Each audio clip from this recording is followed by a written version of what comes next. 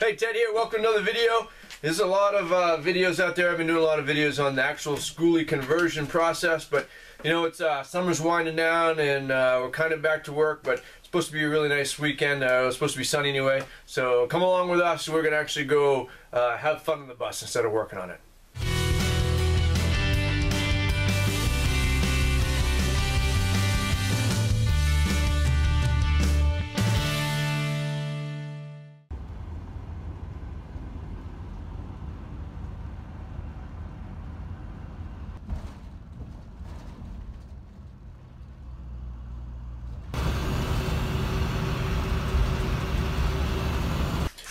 All right, so we made it to uh, sort of what a base camp be for the weekend, about two and a half hour drive. So um, it was dark. I drove. Julie worked like a 13 hour day, so she's zonked out for a little bit. Now she's rallying a little bit. But we're gonna just gonna unwind for a couple minutes and then probably hit the hay, and then uh, we'll see you in the morning for some breakfast. I believe we're gonna have some pecan French toast in the morning in the Dutch oven. So we'll show you that when we get there. Just plug it in and get charged up. Am I in the shot? No, not really. Mm. Now you, now you are. I don't need to be in the shot. huh? Oh, there you are. uh, so, good night, and uh, say we'll see you in the morning. Cheers.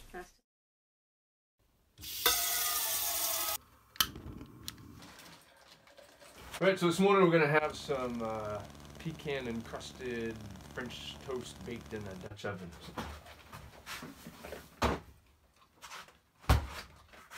Eggs. So we make an egg wash first. Got this handy dandy little egg container here because, uh, as you guys know, traveling around in the skoolie, that stuff goes flying even in the refrigerator, so that kind of helps keep us uh,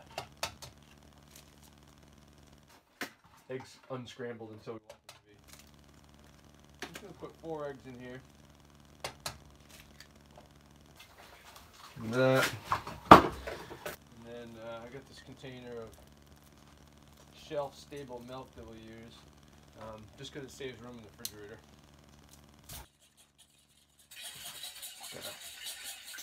Stir this up with a fork. You know it's probably too much milk.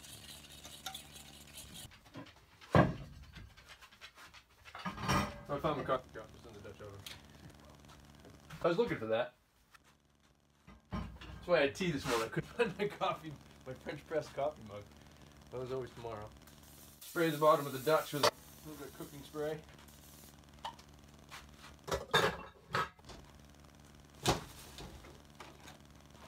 I like using these uh, beeswax covered wraps instead of plastic. Kind of cool. And Julie made this bread left over, so I'm gonna cut that up.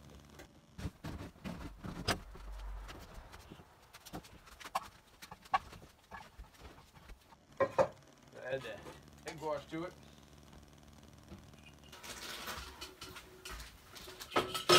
Some sugar.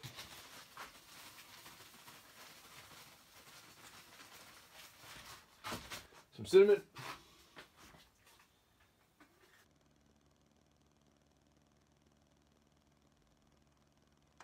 My measurements are so precise, aren't they?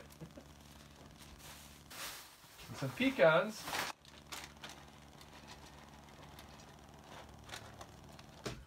Had vanilla, I'd go with vanilla, but I don't, so.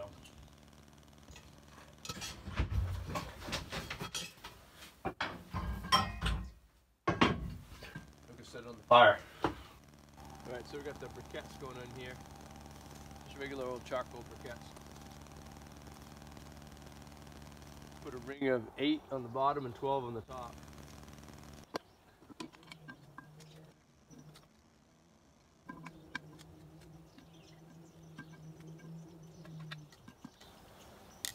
There, and then uh, go drink tea until it's done.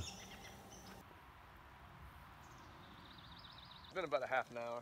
Um, really like to cook a little bit more, but we gotta get going because we uh, well, we're going boating today. We gotta meet, meet the put-in crew, so we're gonna take it off and see what it looks anyway.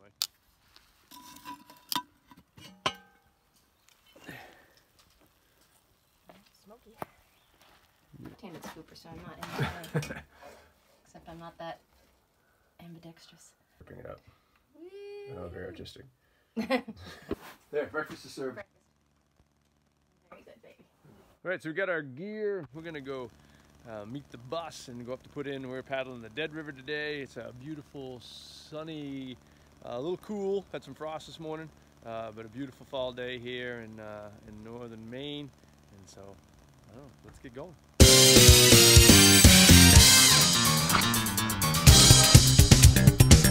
I need my helmet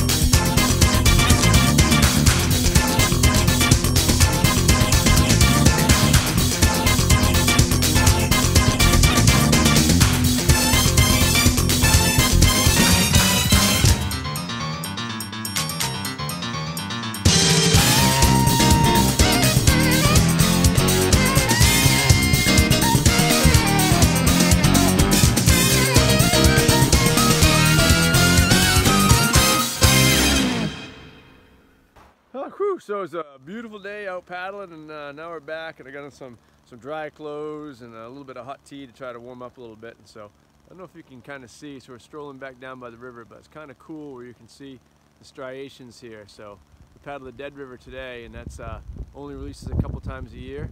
So, well, seven, I guess, but but then this is the Kennebec on this side. So we're in the town of the Forks, and they all this is where the two rivers come together. And you can see where that's a dead river where it's brown up there and it's blue over here with the Kennebec. So uh, I don't know, it's just kind of a cool, cool little thing that happens here. We're gonna walk down, take the dog out for a walk down to this place called Crusher Pool and uh, wait for wait for dinner.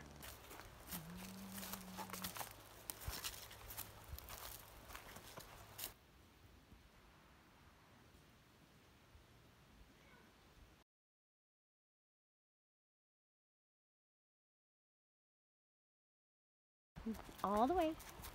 Good Oh. Good girl. Can we get a puppy? Good girl. Do we have a puppy? We have a puppy. This is you guys. Oh, good girl. And Okay, so for dinner tonight we're having uh, adobo rubbed chicken uh, with some avocados. We're gonna actually throw some homemade salsa on that, and then cover it with cheese. Put that on the grill with some mango salsa. So just uh, one mango, one tomato, and uh, I think I just put a half a jalapeno because that's what I had. I really should have cilantro there. Oh, it's a little bit of lime juice. I should have some cilantro, but I forgot the cilantro. So, which is kind of a bummer. We'll have to go sans cilantro. But I'm just gonna put this all in this little pot here, like that. And then uh, what do we got? We're gonna have uh, just a little bit of this chipotle. That's kind of spicy. Plus you got the um, jalapenos in there. Some plain old chili powder. I'm terrible with measurements. I just sort of eyeball it. About that much, I think. Very scientific. Some cumin. And uh, some lime juice. That should be good. Stir that up. Actually, need some salt in there too.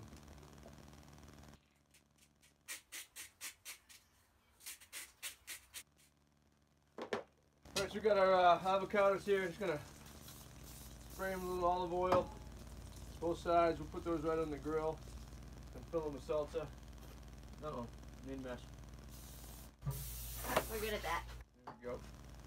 So ready to go.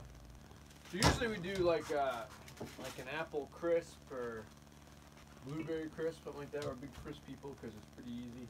That's my buddy Todd. You might have seen that video we did. He's he's gluten free, so we can get gluten free oats. I'm doing gluten free stuff. It's tricky, but. Uh, so we're gonna do a dump cake, which means we're going to put blueberries on the bottom layer. And blueberries. Cover those with some lemon curd, and then we're gonna mix up a yellow cake mix with this lemon lime soda. I don't know, it's the best thing I could find. Oh my god, that's So- awful. I can't believe you found it. I don't know. It's Surge. I don't know. I've never had it. Oh. Red curd. Curd spreader. This. Oh, it's been kicking my butt. Like a knife? I'm too tired from paddling all day. Oh yeah. We had such a stressful day at 3500 on the dead. It wasn't really that hard. We had to paddle twice.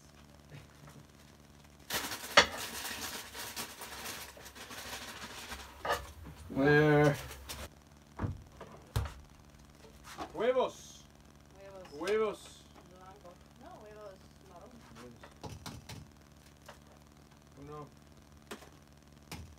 No, so we need more eggs. Okay. I've spread Good. curd. Curd spreader. You're gonna sip it. I'm gonna- This is the worst thing in my life. Oh my god, it's like nuclear color. It's what what you see that? teenagers in 1990 drank I think before I think this nuclear out. waste that color. I, I can't. I don't know. I think it's supposed to be 12 ounce can. It is. No, I didn't. I could have got Sprite. You could have gotten Sprite, but we have Surge. Good sir. I can't. So the, the avocados and the salsa is all natural. The adobo rub, the salsa, so they're not quite so natural on the On the cake mix. on the cake. It's quite decadent. All right, let's go put it on the grill.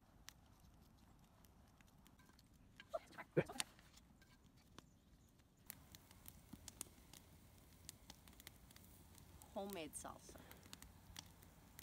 It's the best. We eat so poorly here.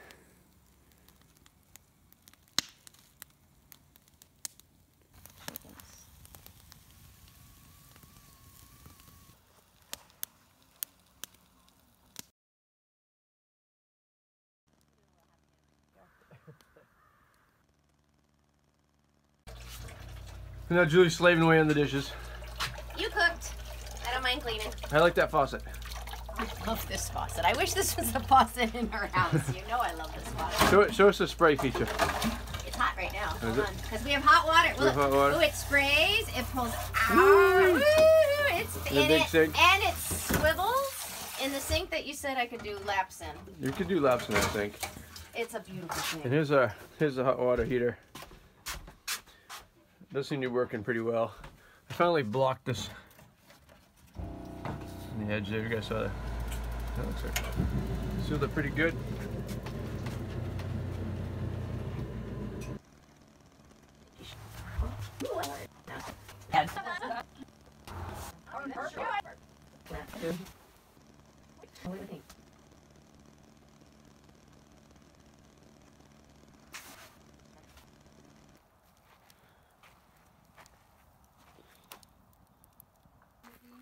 If you use three cups of water to one cup of raw almonds Yeah. versus four, Yeah. it, makes makes the yogurt thicker. a lot thicker. And especially Plum cake. Dumb cake. Ah. Never heard of Surge and you still bought a Surge. And the fact that Surge still exists. Oh, exists. whoa. Oh, look at that. what's on the bottom? Blueberries Lemon and lemon curd. Wow. This is a cake mix? Yeah. Yes.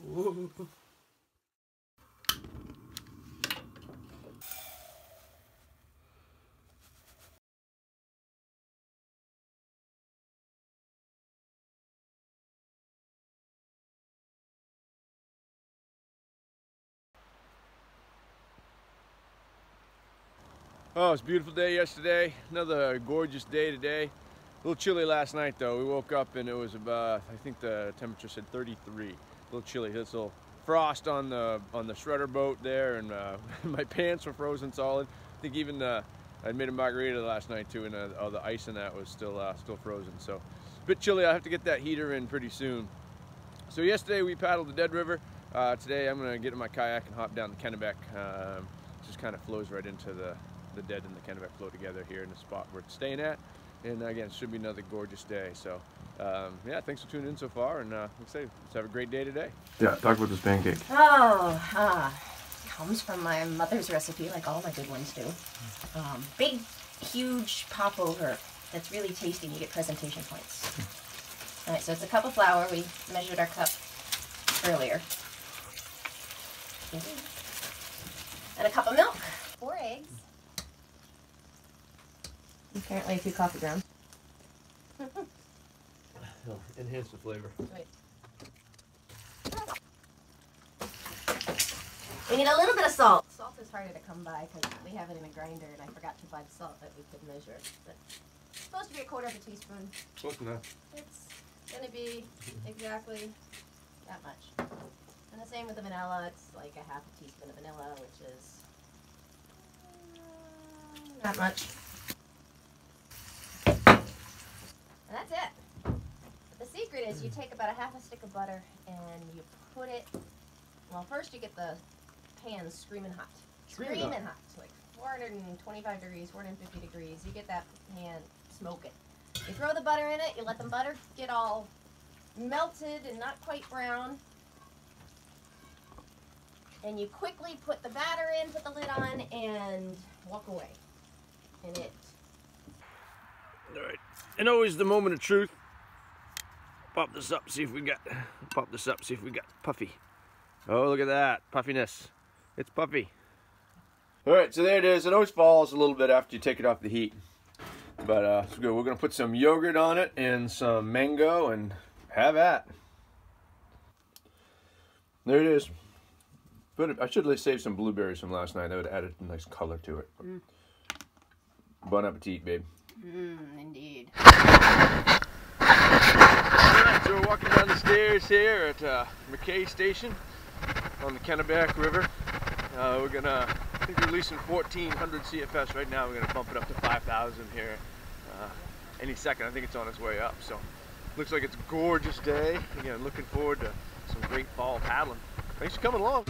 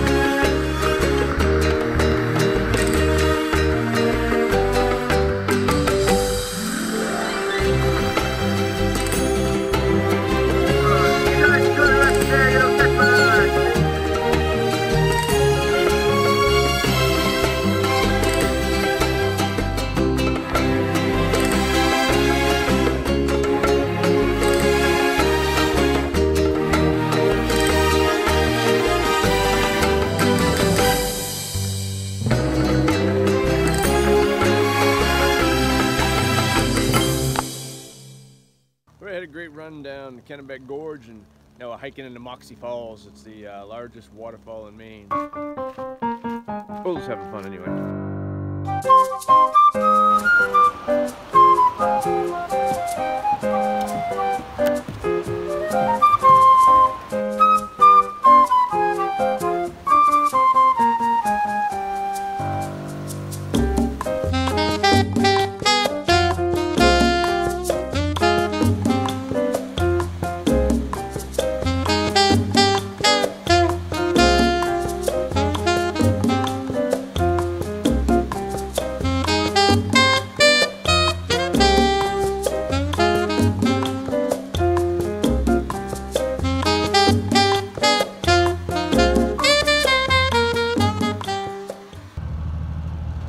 Alas, our revels have ended, Shakespeare said.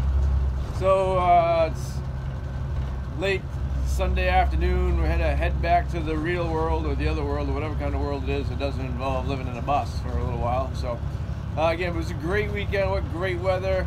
Uh, a little chilly at night, I guess, but uh, gorgeous sun in the daytime, and just uh, good food, and I don't know. Overall, just a, a great, uh, a great weekend, and I guess that's kind of what uh, what living in the bus is all about, I guess, going up to different spots, enjoying the sights and scenes, and but uh, really enjoying the amenities of uh, kitchens and beds and those things. You can feel like a turtle sometimes, you know, you're kind of carrying the house on your back. And it was awesome. But thanks for joining us uh, virtually, I guess, I suppose. And uh, however, any guys uh, out there and want to make a trek to Maine and you want to join us in the in the real world, we certainly love to have you, and we'll show you all the sites and, uh, get you around. Well, not all the sites, but just the sites that we know. I guess we can't really show you sites we don't know. So, but yeah, thanks for watching. Certainly appreciate it. Like, subscribe, do all those things that you do. Uh, until next time, I will see you later. Thanks for watching.